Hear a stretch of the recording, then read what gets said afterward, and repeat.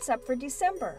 Bright planets, a comet ISON status report, plus wintry starry sights. Hello and welcome. I'm Jane Houston Jones from NASA's Jet Propulsion Laboratory in Pasadena, California. Observers definitely saw Comet ISON brighten and change in November. If the comet survived perihelion, its closest approach to the Sun, it will be visible both before dawn and after sunset this month. It will appear higher in the sky at dawn than at sunset, providing a better chance to see it. During the second half of December, Comet ISON should fade rapidly as it moves north. It will be closest to Earth in its orbit on December 26th.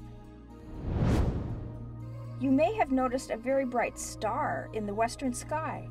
That's Venus. Venus shines at its very brightest, magnitude minus 4.9 this month. It sets about three hours after sunset at the beginning of the month and one and a half hours after sunset at the end of the month. This is a great month to view the dramatic changes in the apparent diameter and phases of Venus as it races towards its conjunction with the Sun.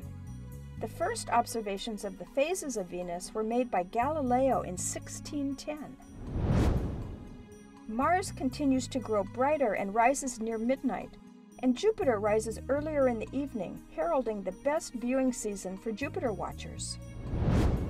The beautiful Geminid meteor shower will only slightly be marred by moonlight on the night of December 13th and 14th. The radiant lies near Gemini with brilliant Jupiter above and the constellation Orion below. From a dark sky, but even from the city, the mighty hunter Orion is easily visible in the southeast sky. Take a look at Orion's shoulder star, red Betelgeuse, and its knee star, blue Rigel, and the Orion Nebula. You can see the latest images of Comet ISON from space telescopes and worldwide amateurs at www.isoncampaign.org and solarsystem.nasa.gov/ison.